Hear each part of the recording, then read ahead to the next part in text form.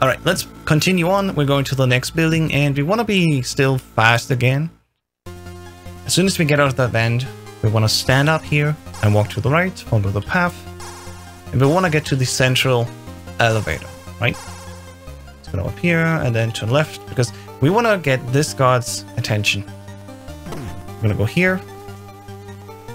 And we try to catch him just as he leaves the screen. There we go. Punch and then turn to the left. Watch out for this guard on the radar to basically come towards you. If you're too fast, you can actually walk into him and then you get an alert. And then crouch into an elevator. If you crouch in an elevator, you will actually not walk that far in. If I stand and walk into an elevator, have a look here. I walk all the way to this bottom orange line. If I crouch, yeah, that guard saw me, so this will have an impact on a Black Ninja. So you can see here, I will only go this far, stand up and then go up.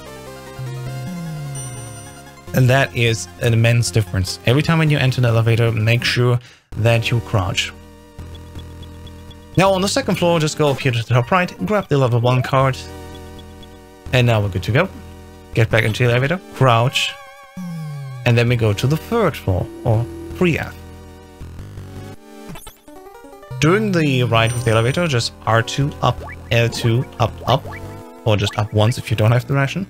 And L2 again leave, and then we're gonna make our way towards Black Ninja. Go through the south door, go down, avoid the tables, try to be clean, punch this guy, and make your way over here. Make sure to not get seen by the camera, usually you shouldn't if your movement is good enough, and just walk into this room where Fake Dr. Madnar turns into Black Ninja, and we're gonna do his fight. So after a while, you just get used to where he will be standing, ideally. As we can see, I can just mash the button really, attack him, and he's done. Now, if you did the manipulation correctly, you will be in the top right first, then go left, then go down, and maybe will be at the bottom right. But as you can see, especially on easy difficulty, it's not too difficult to get this fight down clean enough.